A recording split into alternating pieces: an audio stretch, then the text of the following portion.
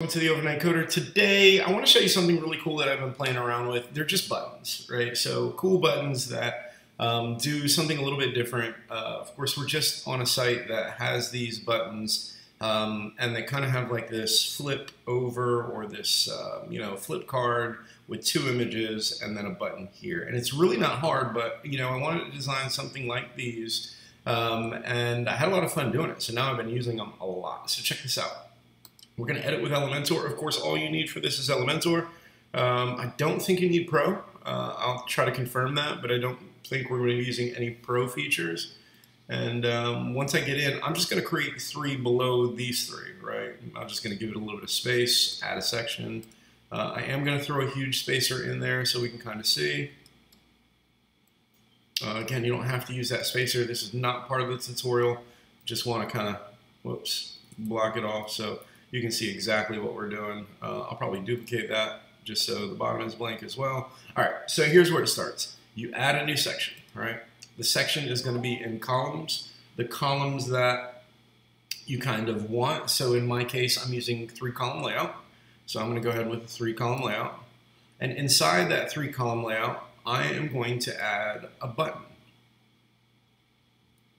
I'm going to throw the button in there. Um, for the style and background, or I'm going to go to the style tab, my color is 100% transparency, so I'm just going to move that button on over, and now I can't see anything that I'm working with, right? So what I also want to do is change the text color. I'm going to go with, uh, I'm going to go with white. I know it's already white. But keep in mind, I'm going to have a background color. And then I'm also just going to make this, um, just for kicks, I'm going to pick a, a, font that's a little bit thicker with bold. Right, so I'm going to go with Poppins, let's call it 25, and let's call it 600, right? Uh, so we, I know you can't see it. If you want to be able to see it, I'll jump into that real quick. So you just added a button, but how about the column background? So edit column, just clicking this button here to edit the column, and then going to the style, and in the background type, instead of doing a color, I'm going to select an image.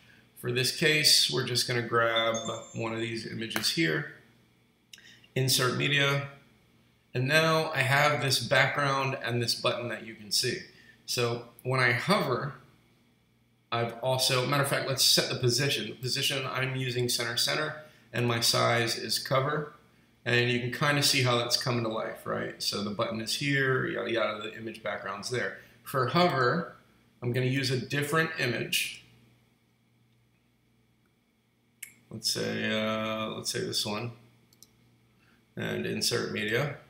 And now when you hover over it, you've got another different image, right? So everything looks good there. I'm also going to set this to position, center, center, and the size to cover. All right, perfect. So let's go back to editing that button. And with the editing button, what we're going to do is First, we're going to go to the content tab and make this justified. So I want it all the way from left to right. Now you can see my button goes from here to here. And then the last little bit, uh, I am going to go to style for, for a second, actually advanced. And I am going to mess with the padding top as well as an equal padding bottom. So let's just say I stop on 70. For bottom, I'm also going to do 70. That makes my button this big, the width of, you know, pretty much almost my image. So you can see how this is coming to fruit. I do like a little bit of darker transparency or gradient over those images because I really can't see the click here. So I'm going to go back in to edit the column. In the column, I'm going to do a background overlay. My background overlay of most likely black. Don't have to use black, but again, actually, let's use, yeah, let's use, a, no, you know what, let's use a, uh, I like the gray. Either way, you can use any color you want, and then you can mess with the opacity here.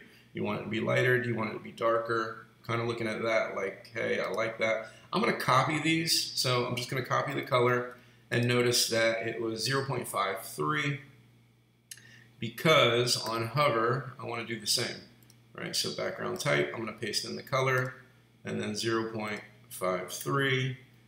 And you can see how I'm kind of getting off there, right? I like that. Uh, also for the column, I'm going to set the border a border radius of something to make it a little bit rounded. So if I do this, you can see how it's rounding the corners. But I'm just going to go with a 9. Um, I'm not going to put a border type on it.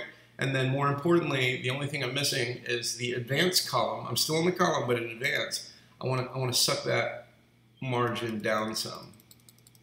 So I'm going to go with 12, and then all I'm going to do is duplicate, duplicate, and then remove these other columns. So that's pretty much it. You have a button, edit button. The button can go to your link, which is, you know, anywhere you want it to go. HTTPS yahoo.com. If I wanted to open it up in a new tab, oops, you're here. If I don't want to open it up in a new tab because it's on my website, that's there. And uh, that's it.